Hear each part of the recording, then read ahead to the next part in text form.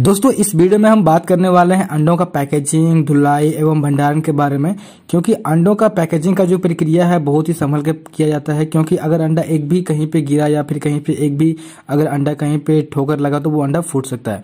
तो अंडों का पैकेजिंग का जो प्रक्रिया है, बहुत ही संभल के किया जाता है, और इसके बारे में, और धुलाई एवं भंडारण के बारे में आज की इस वीडियो में बात करने वाले हैं।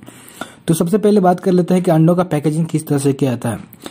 तो अंडों का पैकेजिंग की दृष्टि से देखा जाए तो कुदरत अंडों को एक बहुत ही नाजुक आवरण से ढका हुआ है, क्योंकि बहुत ही नाजुक आवरण से ढका हुआ इसलिए है क्योंकि अगर अंडे को हम कहीं भी गिरा देते हैं या फिर कहीं भी अगर वो किसी के टच में आ जाते हैं और इसमें जैसे कि ज़्यादा टच आने के बाद वो जैसे कि फूट भी सकता है तो फूट जाने के बाद हमारा जो अंडा होता है वो फूट फूट जाता है तो वो बर्बाद हो जाता है।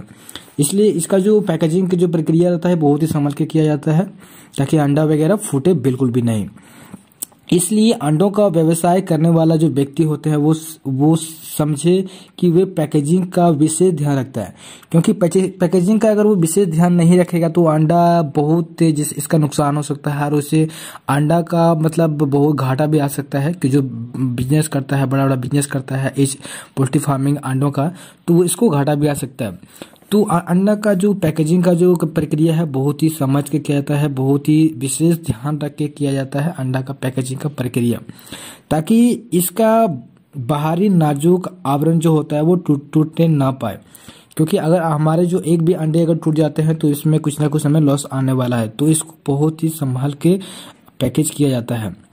और उसके ग्राहकों तक सुरक्षित पहुँचाने का ज़िम्मेदारी रहता है तो ग्राहकों तक पहुँचाने तक वो अंडे को बहुत अच्छी तरह से देखभाल भी करते हैं। और ताकि उत्पादकता को अधिक से अधिक लाभ हो सके। तो इस तरह से अंडों का पैकेजिंग होता है और इस तरह से अंडों का धुलाई एवं भंडारण किया जाता है।